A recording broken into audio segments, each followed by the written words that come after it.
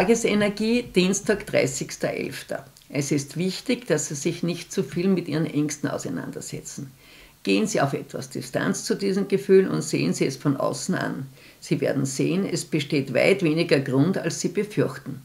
Auch Launenhaftigkeit ist heute möglich. Lachen wäre die beste Medizin, damit Sie alles in den Griff bekommen. Es hat richtig therapeutische Wirkung.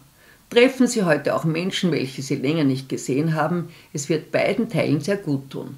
Auch Filme schauen, Kunstgenuss und künstlerische Tätigkeit bringt heute viel Lebensfreude.